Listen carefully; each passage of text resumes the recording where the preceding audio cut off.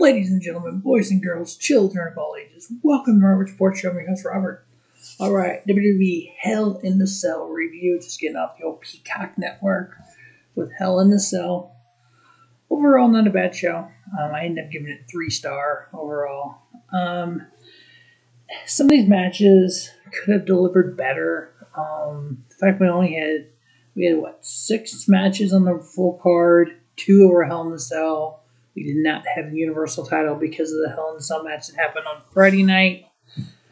I kind of disagree with that. I wish they would have put that match on this card. Um, I think when we build these shows like a Hell in a Cell, like a TLC, even if, I mean, what other big ones are there when we do kind of stuff like that?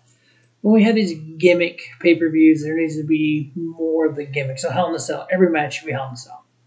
TLC, every match should be a ladder type match you have enough titles, you have enough number one contendership stuff, you could do stuff like that with.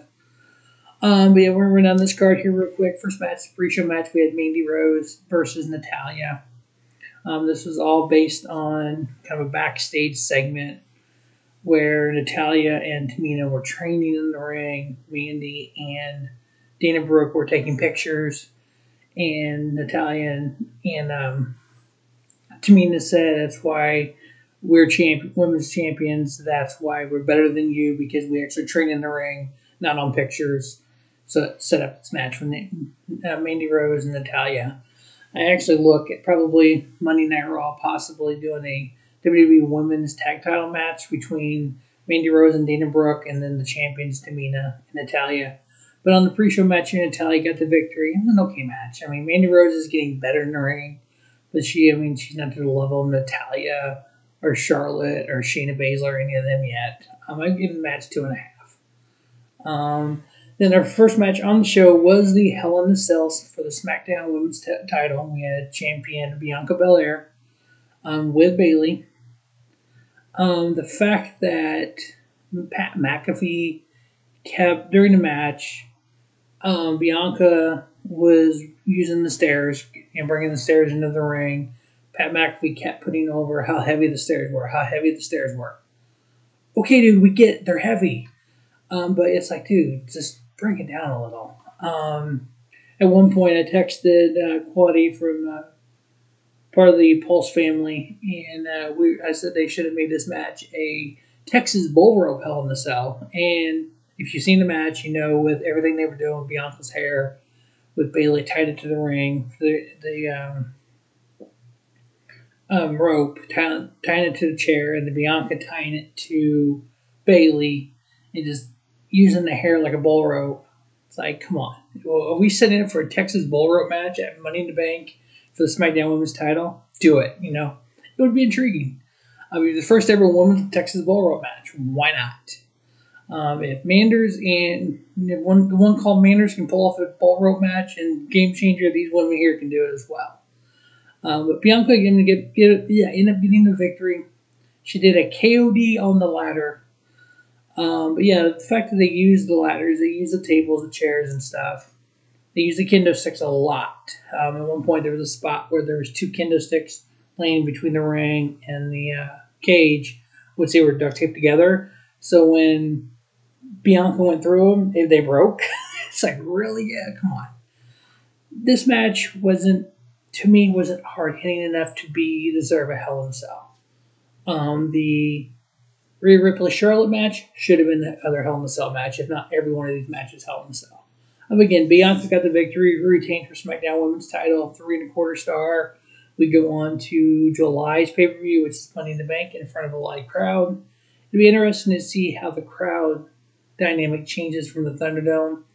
When the whole Thunderdome is done. I might do a best of Thunderdome matches. Kind of something best of for this era. I mean, this is going to be an era pro wrestling. It's like the Attitude Era. This is the Thunderdome era. All right, next up we had Seth Rollins versus Cesaro. I actually looked up Class of the Champions Ring of Honor 2009, October 9th to be exact. I saw Seth Rollins in a match in front of 150 people along with Cesaro in a four corner survival match. Um, these guys have came a long way in that time. I mean, was 2009. So you're looking at what? was that 11, 12 years, almost 12 years. These guys have main event. These main event. These guys were on WrestleMania. Um, I mean, this match was good. Don't get me wrong, but there could have been so much more done with it. It could. I mean, it, to me, it deserved a Hell in a Cell. Um, but Seth Rollins getting the victory. Uh, I ended up giving it three and a half. It was a good match. Both these guys can put on great matches. It's like they start to push Cesaro, then they're like, "Yeah, we're not gonna do it." I think Cesaro should have got the victory here. If you want to push him to win the Money in the Bank or do something big with him, you got to give him victories. Um, I'm really curious who they have win the Money in the Bank at this point. But um, so yeah, Seth's got the victory there, three and a half. Next up, we had Alexa Bliss and Shayna Baszler. Um, we have Shayna Baszler, who supposed to be a badass in the ring, former MMA fighter, former NXT Women's Champion, former WWE Women's Tag Team Champion, and she cowers to Alexa Bliss because of the damn doll. Really? Not believable. Now, my wife was watching the show with me, and she even said she didn't believe Shayna Baszler, but she actually believed that Alexa Bliss was crazy. So, yeah, Alexa Bliss is coming off as the crazy fiend that she needs to be.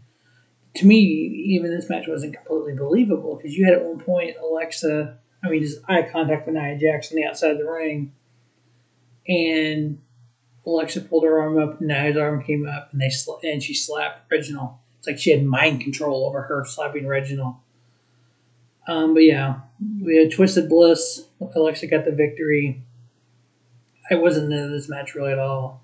I gave it one and three quarters. I mean, there might be people out there, oh, this is the best match of the card. No, it's trash to me. I mean, this whole Alexa Bliss thing, I don't think with live crowd comes off the way it should. I think with the Thunderdome, you can pre-tape segments and do all that. I just think, I mean, if the Fiend's done, this needs to be done. I don't know what's going on there. Next match we had was Sami Zayn versus Kevin Owens. Um, this this feud is always special because I watched most of the two year feud they had in Ring of Honor. Um, Hate Chapter Two was it November, September, October, November, something like that. Late 2010. I seen this match in person again in front of 150 people in a Ring of Honor show. Um, but yeah, I mean, Kevin Owens playing up to the fact that on Friday Night SmackDown, Commander Azeez, Zeeb, whatever his name is, throat punched him and he couldn't. He was coughing during the match and almost was counted out because of it. He couldn't. You know, it's like okay. I mean, I, I love the fact that they're carrying that story on. And Sami's whole, you know, con- conspiracy theory type deal, they're carrying that on too. These guys can tell a story. They can go out there and just do unbelievable ring work. Um, I give this match, I mean, I give it three and a half, but I mean, three and three quarters would have been awesome too. I actually initially wrote down three and three, and I kept kind of like, eh, three and a half. So it was right there. It was one of the one of the best matches of the night. But these two guys are so talented. They tell so great stories that you can go out there and just have a match. And I mean, it'd been cool if it'd been Hell in a Cell. I'd love to see these guys in Hell in a Cell because they'd have killed each other. Um, but then, uh, so Sami Zayn with a hula kick getting the victory there. Uh, next up, we had the Raw Women's title line. We had champion Rhea Ripley versus Charlotte Flair. Rhea Ripley came into WWE in 2017 Mae Young Classic. Um, it's funny to look at the roster for the Mae Young Classic. How many Dakota Kai, Rhea Ripley, Shayna Baszler, just holy hell, you know, Tessa Blanchard was on that. Like, really? I didn't realize she was even in that. But it's like you see such talent. It's like, okay, cool. Charlotte and Rhea should have been. I mean, it came off good. I ended up giving it three and a quarter, which may be a little high for it, but that's how I felt. Um, but the fact that Rhea got herself purposely disqualified, again, this should have been in Hell in a Cell. This would have made more sense and been more hard hitting in Hell in a Cell than Bianca and Bayley. Um, but the fact that Rhea took the announce table, the little cover thing, and hits Charlotte with it, DQ. I've seen a lot worse happen on normal matches. And they don't DQ them. But whatever. Um, but excuse me. So yeah, it was a DQ finish. Charlotte won the match via disqualification, while Rhea Ripley is still Raw Women's Champion. Again, what is money? What is Money in the Bank going to do for the women's division? Do we have somebody from NXT to win the, the Money in the Bank? Do we have a Shayna Baszler win it?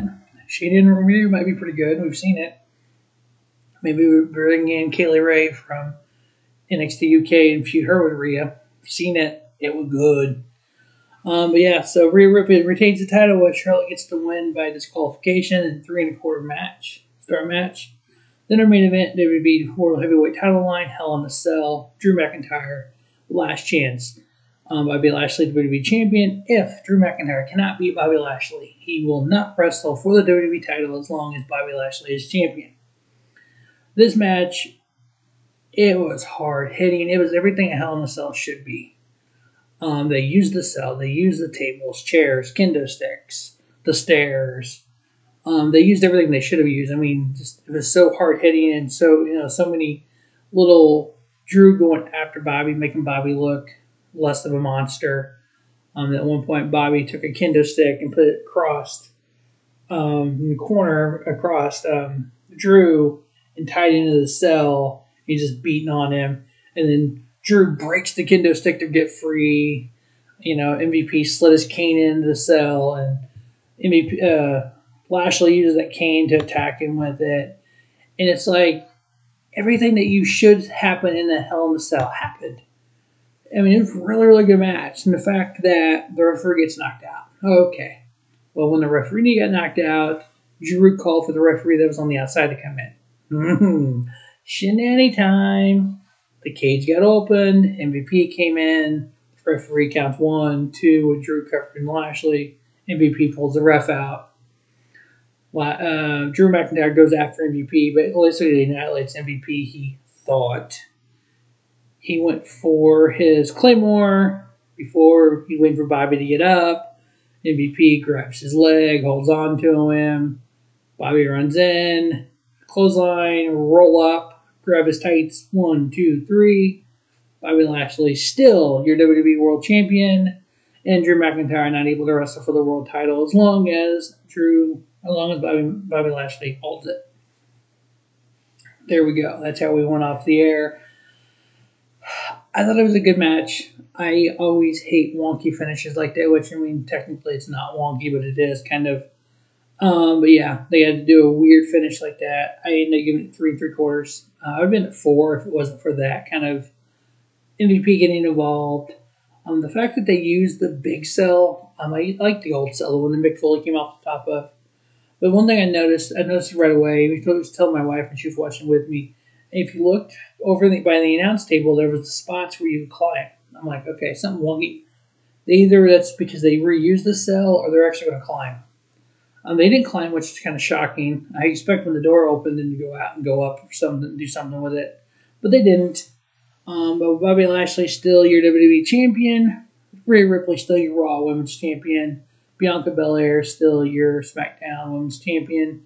Uh, we've seen on SmackDown on Fox, we had Roman Reigns retain the title versus one Rey Mysterio Jr. Um, I gave that match. Let me find SmackDown. Smack the Wacky here. I gave that match three star from SmackDown. It was okay. Wasn't anything special. Wish they would have put that match on this card, but hey, whatever. Let's not have our Universal Champion Roman Reigns on this card. Uh, we'll see what happens in Money in the Bank. See what happens going forward tomorrow night on Raw. I actually do suspect we'll have a rematch between Charlotte and Rhea.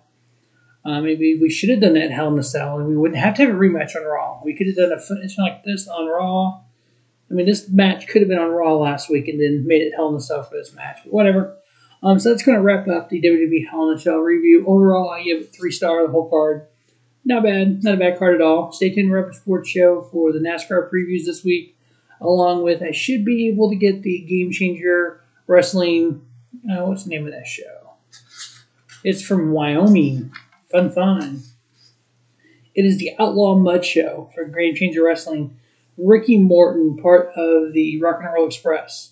He wrestled for the first time ever in Wyoming. He has now wrestled in all 50 states. His Hall of Fame career.